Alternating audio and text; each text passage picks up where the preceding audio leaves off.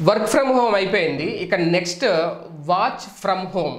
ఇది రాబోతుందా? అంటే ఇప్పటికే ఆల్రెడీ వచ్చేసిందని చెప్పాలి.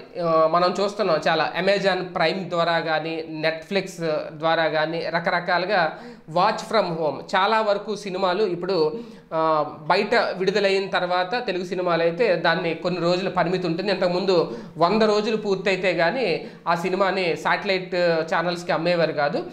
శాటిలైట్ హక్కులు ఇచ్చేవారు కాదు. కానీ ఇప్పుడు అలా కూడా లేదు. సినిమా డిస్ట్రిబ్యూషన్ బట్టి ప్రొడ్యూసర్ నిర్ణయాలను బట్టి వాళ్ళ ఒప్పందాలను బట్టి సినిమా విడుదల తర్వాత హిట్ ఆఫ్ అట్టా అనే దాని మీద కూడా కొన్ని రోజులకే ఆ సినిమా మనకి ఇంట్లోకి వచ్చేస్తుంది. అంటే వాచ్ ఫ్రమ్ హోమ్ ఇంట్లో కూర్చొనే చూసే విధానం ఇక పూర్తిగా భవిష్యత్తులో మన ముందుకు రాబోతుందా అనే అనుమానాలు అనే సంకేతాలు కూడా కలిగించింది ఈ కరోనా మహమ్మారి ఈ లాక్డౌన్ అయితే ఇప్పటికే దీని మీద నిర్మాతలు డిస్ట్రిబ్యూటర్లు కూడా దృష్టి పెడుతున్నారు అనేది కూడా కొంతమంది ప్రముఖ నిర్మాతలు కొన్ని మీడియా ఛానల్లో మాట్లాడిన సందర్భం ఉంది.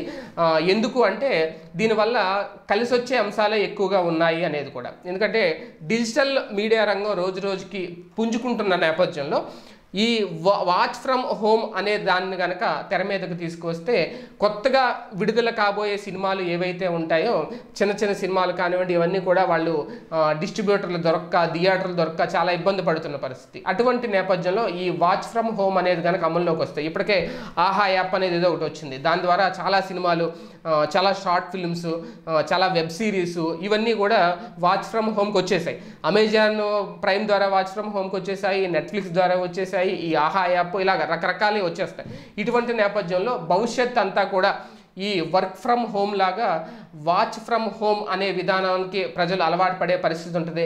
ఇంట్లో కూర్చొని నేరుగా ఎందుకంటే చాలామందికి ఇప్పుడు ఎల్ఈడీలు ఎల్సీడీలు స్మార్ట్ టీవీలు ఎల్ఈడి ప్రొజెక్టర్లు ఇవన్నీ అందుబాటులోకి వచ్చేసినాయి ప్రతి ఇంట్లో కూడా మ్యాక్సిమం ఈ నేపథ్యంలో ఈ వాచ్ ఫ్రమ్ హోమ్ కూడా అందుబాటులోకి వచ్చేస్తే ప్రజలు ఇంకా ఇల్లు కదిలి వెళ్ళాల్సిన అవసరం లేదు. ఏదైనా అవసరాలకి నిత్యావసరాలకి అత్యవసరాలకి తప్ప ఈ సినిమాలకి షకాలకి షాపింగ్లకు కూడా తగ్గే పరిస్థితి ఉంటుంది. ఎందుకంటే షాపింగ్లు కూడా మ్యాక్సిమం ఆన్లైన్లోనే చేసేసుకుంటున్నారు. ఇప్పుడు ఎవరు ఎక్కడికో వెళ్ళి షాప్స్లోకి వెళ్ళి క్యూలో నిలబడి అక్కడ కావాల్సిన సెలెక్ట్ చేసుకొని బిల్ కౌంటర్కి వెళ్ళి బిల్ కట్టి ఇంత పరిస్థితి లేదు.